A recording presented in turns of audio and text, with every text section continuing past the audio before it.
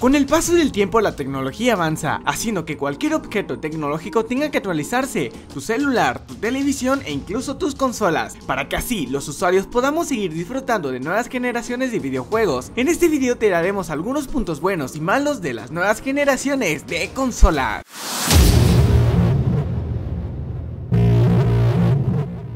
Primero que nada, los gráficos mejoran cada vez que una nueva generación de consolas se libera, con hardware más poderoso y capaz de entregar mejor rendimiento. Es más que obvio que lo primero que veremos es una mejora visual en los juegos. Eso sí, gráficos tan buenos que pueden hacer que pierdas la razón y creas que en realidad estés en el juego. Pero ten cuidado, porque esto te puede volver loco y más si llegases a perder una partida.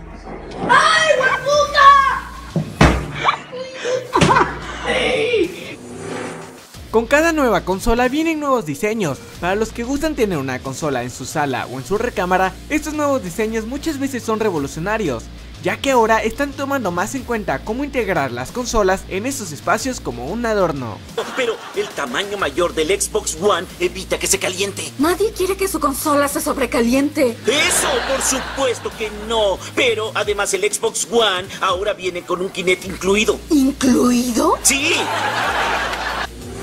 El avance tecnológico que logran con cada consola nueva es increíble, pero también se incluyen accesorios nuevos que hacen de la experiencia completa todo un viaje, desde reconocimiento facial hasta realidad aumentada o realidad virtual. Cada nueva generación desborda nuevas posibilidades para juegos o aplicaciones interesantes, como lo es Oculus Rift, por mencionar un ejemplo.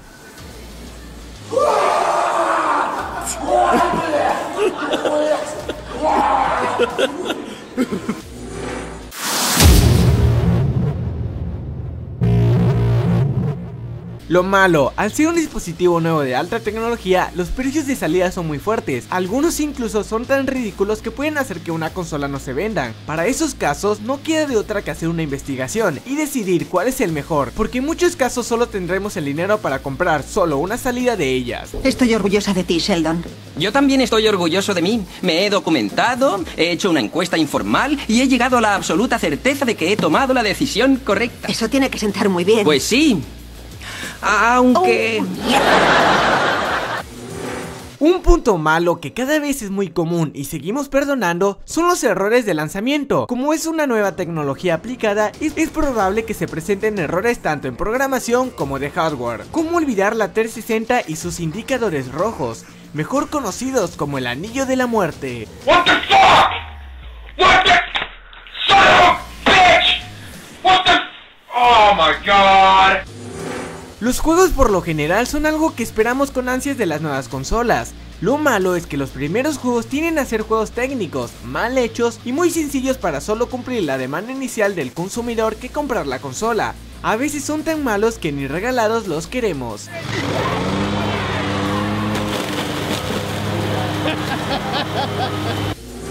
A pesar de todo, lo bueno supera por mucho lo malo, ya que con el avance de la tecnología se descubren nuevas ideas para nuestra diversión, nuevos servidores, nueva calidad de audio y video, nuevos accesorios y por supuesto nuevos juegos. Y si no te alcanza para una nueva consola, siempre tendrás a la mano el juego de la Ouija, como lo recomienda nuestro seguidor Gama Gómez.